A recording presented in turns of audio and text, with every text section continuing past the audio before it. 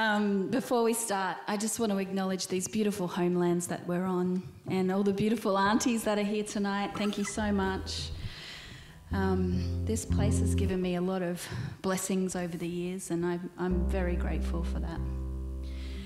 So, it's a this night just feels like a culmination of so many things. Like I'm one of those artists that convinced herself for a very, very long time that I shouldn't play music.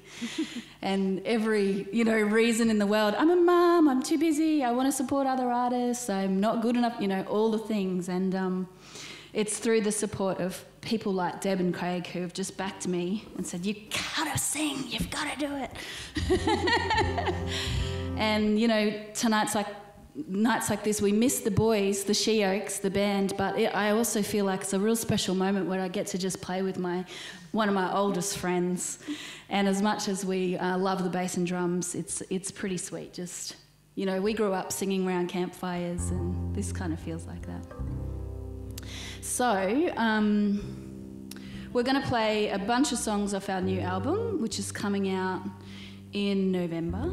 And we've just released a new single this week called Sign of the Times, so you can check us out on all the usual places. I had a um, funny moment this morning because um, I, I, feel like sometimes when I've got stuff on and the kids are around, it's really hard to get in the zone.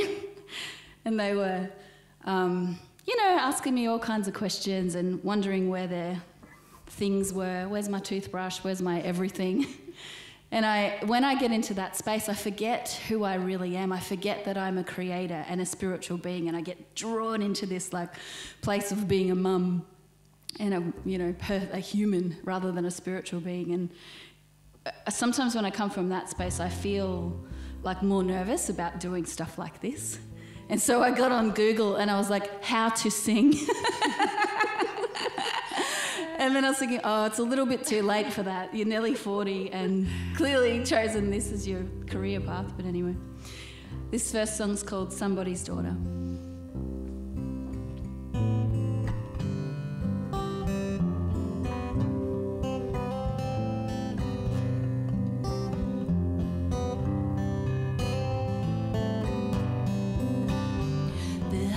times when I have been tempted to throw hands in the air. To buck it all off, let my body be absorbed back to the earth's atmosphere. I look at my life and wonder how I ever survived. But the things that break you are also the things that give you life. Give me strength, give me water, give me some kind of reprieve. I wanna be somebody's daughter. I wanna be anybody, anybody